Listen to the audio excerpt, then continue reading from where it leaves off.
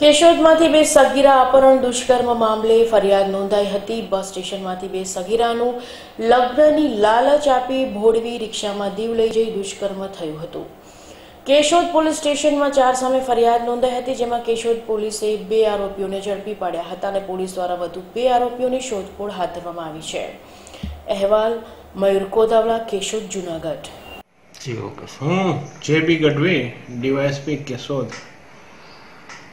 ઘટનાની વિગત એવી છે કે પરમ દિવસે એટલે કે તારીખ સત્યાવીસ ચારના રોજ કેશોદ બસ સ્ટેન્ડમાંથી ધોરણ અગિયારની પરીક્ષા આપીને આવેલી બે સગીરા એને ચાર શખ્સો ભોળવી લગ્ન કરવાની લાલચ આપી અને એને રિક્ષામાં દીવ લઈ ગયા અને ત્યાં સારી કડપલા કર્યા, સારી સંબંધ બાંધ્યો અને એક આરોપી જે છે એમાંથી એ એક સગીરાને લઈ અને ત્યાં તાલાલા પાસેનું જે ગામ છે, જસાદાર, ત્યાં પોતાના બેનના ઘરે લઈ ગયો.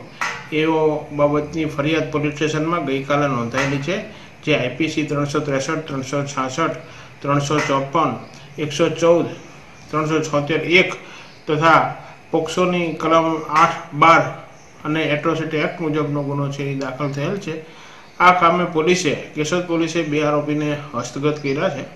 અને આ કેસની જે તપાસ છે, એ ડૉક્ટર કિરણ ઠાકોર સાહેબ, જે નાયબ પોલીસ અધિક્ષક એસસી, એસટી સેલના છે, તેઓ આ તપાસ ચલાવી રહ્યા છે.